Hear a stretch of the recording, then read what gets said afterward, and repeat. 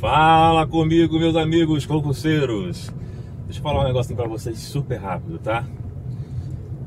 Amanhã é tua prova, dia 31. Quero desejar pra vocês uma boa sorte. Se vocês fizerem a parte de vocês, com certeza Deus vai fazer a parte dele.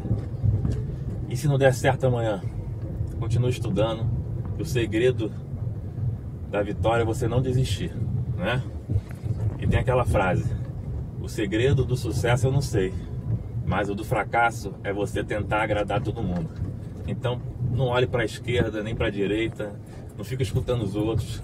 Segue sempre em frente ao seu objetivo, que vai dar certo.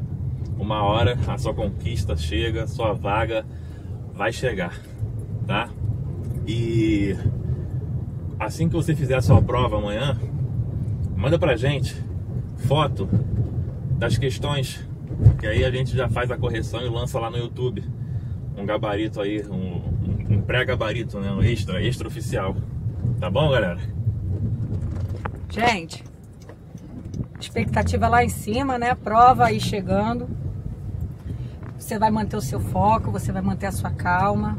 Eu, eu comecei a ficar mais tranquila nas minhas provas quando eu pensava assim, eu vou lá dar o meu melhor. Se o meu melhor for o suficiente, minha hora chegou. Se não for, eu vou continuar melhorando, porque uma hora vai ser, tá bom? Muita fé, muita tranquilidade. É, procura dormir bem hoje, se hidrata bastante, tá? Amanhã saia com antecedência para o seu local de prova para você não passar susto de, de correr risco de perder o horário e conseguir chegar com calma e fazer uma boa prova, valeu? Um beijo, gente. Fica com Deus, estuda que a vida muda. Tchau.